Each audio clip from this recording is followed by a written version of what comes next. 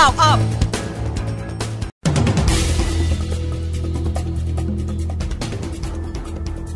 12นาฬิกา6นาทีอดิศรเพียงเกตโฆษกผู้นำฝ่ายค้านขู่ชำแหละงบประมาณกอรมน และเปิดศึกซักฟอกรัฐบาล หลังถูกกอรมน แจ้งความเอาผิด ลงพื้นที่ให้ข้อมูลแก้ไขรัฐธรรมนูญกับชาวบ้าน 12นาฬิกา27 นาทีพันตำรวจเอกกฤษณะยืนยันผู้เสียหายที่ถูกเสียกรรมลอหลอกแจ้งความเอาผิดได้ ไม่หวั่นแม้เชื่อมโยงนักการเมือง 12นาฬิกา34 นาที การบินไทยยืนยันไม่มีปัญหาขาดสภาพคล่อง ย้ำยังมีเงินสดหมุนเวียนเพียงพอต่อการดำเนินธุรกิจขอให้มั่นใจ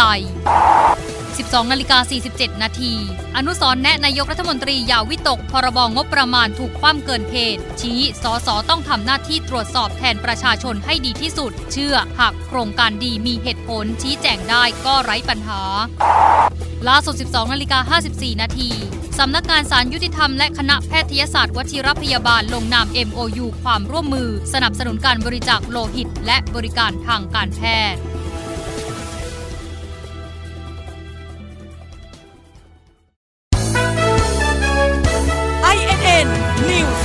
now up.